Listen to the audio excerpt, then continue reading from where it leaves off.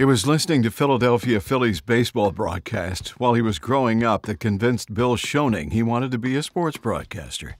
After graduating from the American Academy of Broadcasting, Bill got his first radio job in Illinois, later moving to Lamesa and then Huntsville, where he called football, basketball, and baseball games for Sam Houston State University.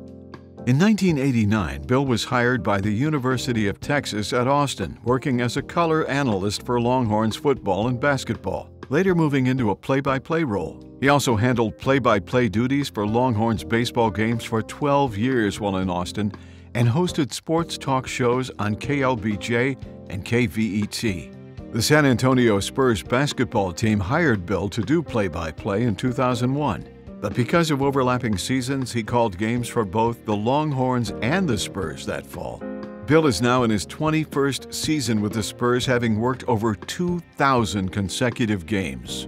Over the years, Bill has called games for the National Football League and Major League Baseball, along with arena football games.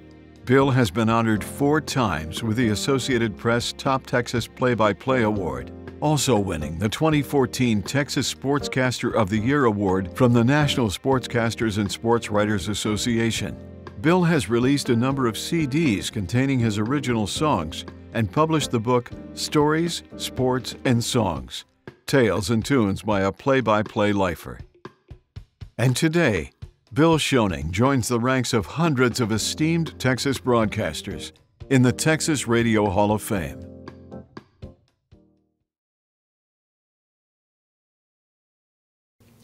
First of all, I'd like to thank all of my colleagues who took the time to vote for me for the Texas Radio Hall of Fame. When an award or a special honor like this comes from your peers, it makes it even more special.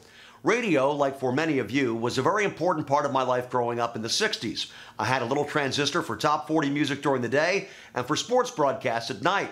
In 1969, while listening to Byrum Saam call a Phillies Giants game from the West Coast, I made up my mind that night. That's what I wanted to do play by play on the radio.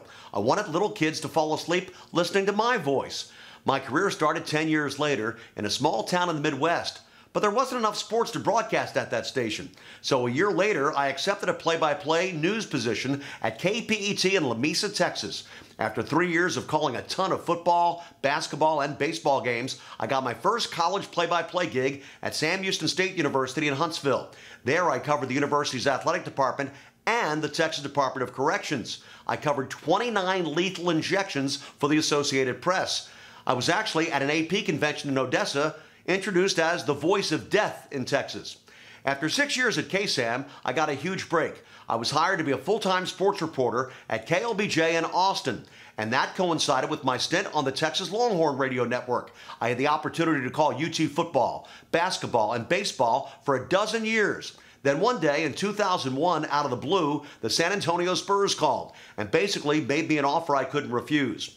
Well, 22 years later, I'm still with the Spurs and their flagship station, the Blowtorch, 1200 WOAI.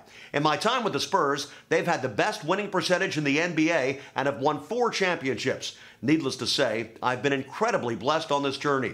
I'd like to apologize for not being there in person, as the NBA schedule makers forgot to check with me before they scheduled the Spurs to play in Denver tonight.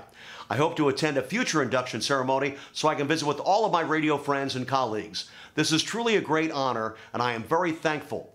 Congrats to my fellow inductees. Enjoy the rest of your day. Thanks again.